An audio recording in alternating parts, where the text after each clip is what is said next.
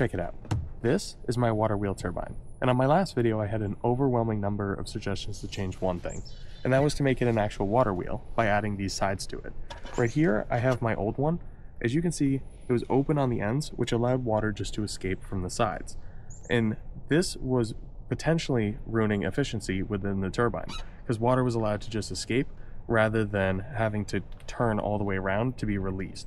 My reasoning behind this was it saved a lot of material doing this, and the other reason being is there's so much water flow there that I actually think there's a possibility that the constant water hitting it might act better than having it trapped. Because once the water's trapped in here, any new water might, like obviously it might displace some of the water that's in there, but for the most part, it's just gonna kind of roll off the top. So that's kind of the reason behind that. But if you wanna see more detailed breakdown of this project, check out my first video. But the inside of it is a hub motor off an e-bike. The outside is a 3D printed impeller or water wheel as we'll call it. It is then connected to metal 3D printed parts provided to me by PCBWay and huge shout out. This really made this project come together. I wasn't sure how I was going to do it without them. So if you guys need any 3D printing services, make sure to check them out. They offer ABS, PLA, resin prints, and then when you get into the metal, they offer aluminum, 316 steel, tool steel, and titanium. So they offer a lot of materials, really great to work with. So if you have any questions, just send them an email and I'm sure they'd be glad to help you out. So continuing on, it then connects to metal tubing right here to a 3D printed brace in the middle. And this resembles a pool ladder, and they're just a ladder, I guess. And that's probably what we'll call it, but it allows me to hold it farther down at the end. And if I flip it around, you'll see here, there's actually two on the top and then there's screws going through the top so they really can't slide. I thought this would be an issue, but in the last time they didn't move at all. So these screws are overkill, but I'd rather them be there than not. And then with that as well, we have paracord hooked onto just a little S-clip so I can wrap it around the railing when we get there for a little additional security because we'd hate to lose this entire project. So without further ado, let's get over and do some testing. We've now made it to the testing site with a real feel of about 15 degrees Fahrenheit, so let's head over and do some testing.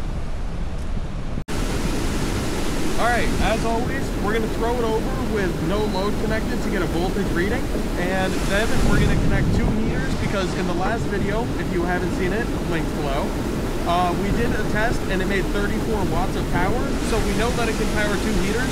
So if it makes more power or too much power for those two, we'll connect the third one and do a test with that. So before we freeze, let's get it thrown over the edge.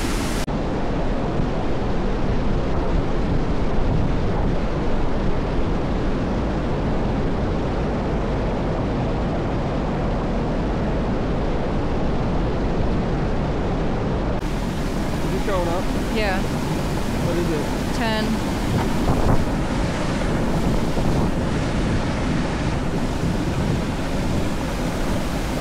Hold on. 13. 13. Yeah.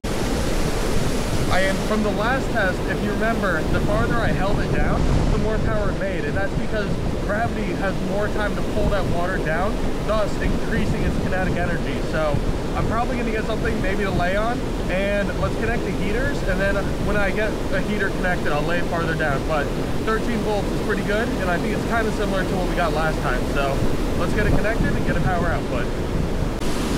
We've now got the two heaters connected and I've got my towel. So let's throw it over the edge and see if we can beat 34 watts. And then we'll try connecting that third heater like I said.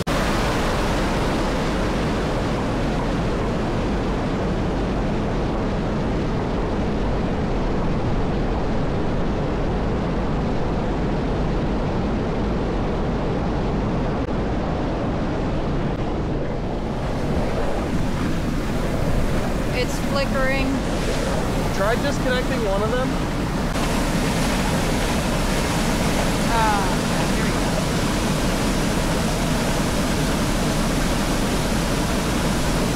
Eight watts. Uh,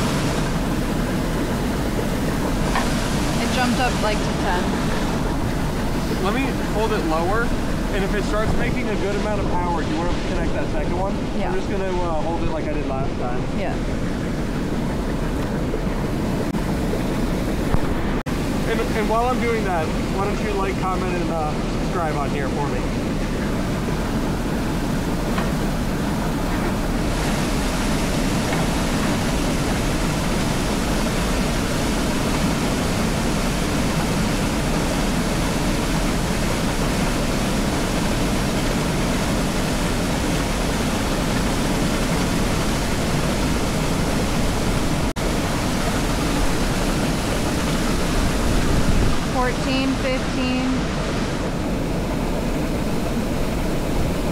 So,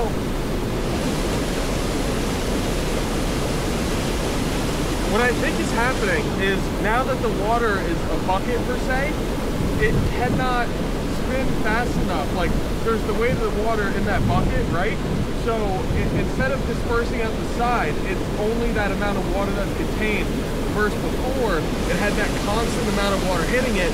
It was going out the side, but there's always water replacing it. It's not like it was hitting and just dispersing out the side. So I think that made a huge impact on this, and maybe the best design for this is to not have buckets. But let's do a little more testing, see if we can get that power number up because we made a lot more power in the last video.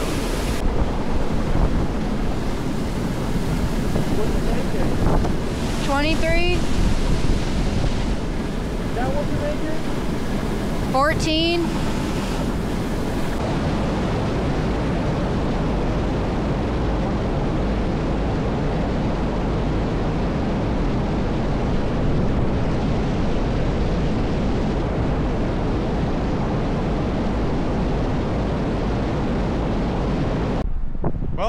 Not only did the power go down, so did the temperature, but it is because the water wasn't flowing out the sides, allowing constant new higher velocity water to hit it.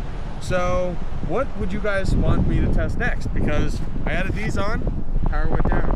Other than increasing the size of the bucket and obviously gearing, and there's there's multiple different ways, but in this design right here, what would you guys change? So I think what I'm gonna do next is maybe delete both of these. I might try and space it out a bit farther, or I might try and start utilizing these gears right here via chain. So what would you guys like to see? Uh, I wanna also thank you for helping me hit a thousand subscribers before the end of the year. I was here less than a week ago filming. I didn't think I was gonna be able to do it, and here we are. So another great video, maybe not great power production, but great video. I'll see you guys next time.